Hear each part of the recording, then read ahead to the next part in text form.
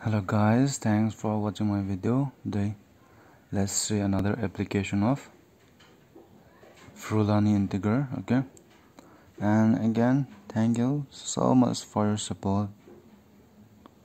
So today we would like to solve this integral that is the integral from 0 to infinity of sine of ax sine of bx upon x dx which is nothing but half of log of a plus b by a minus b where a and b where a is greater than b and greater than 0 okay?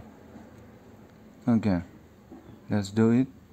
So let our integral to be i is integral from 0 to infinity. Sine of ax sine of bx upon x dx okay? Now we know that from trigonometry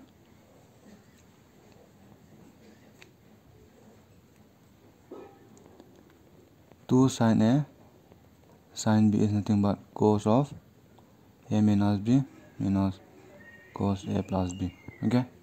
So applying this one here sine of x sine of bx is nothing but these two transfer on the right hand side then is half cos of a minus bx minus cos of a plus bx okay? Now putting that one here in our, in our integral i is half of integral from 0 to infinity cos of a minus bx minus cos of a plus bx upon x dx. Right. Now if you calculate this one cos of infinity is I think it is not defined. Right. So then this is infinity. So I cannot put f of x to be this one cos x okay?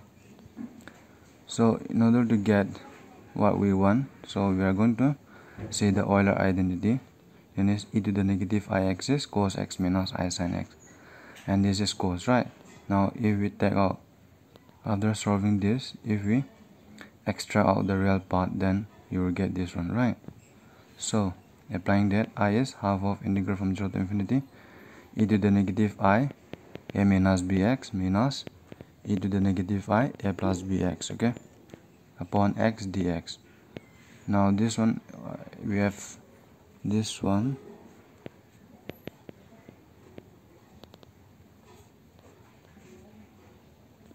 This integral I think we have already discussed it.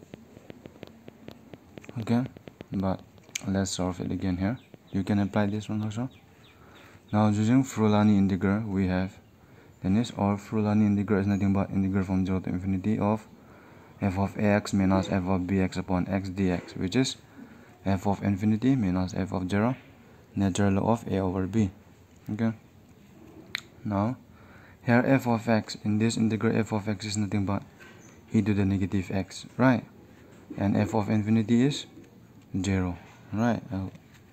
Because e to the negative infinity is same as 1 over e to the infinity which is 1 over infinity which is 0 okay?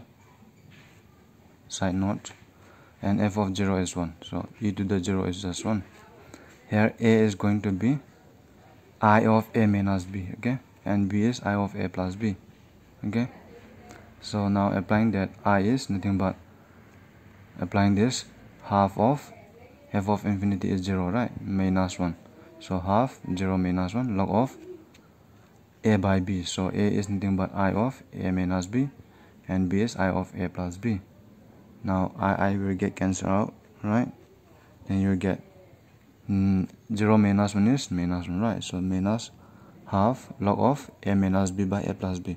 So if you want to remove this negative so it will be half of natural log of a plus b by a minus b. Here applying this one. Log of x to the n is n log x okay? Property of log right. Therefore our integral what we want is integral from 0 to infinity sine of ax sine of bx upon x dx is half of log of a plus b by a minus b. And here note that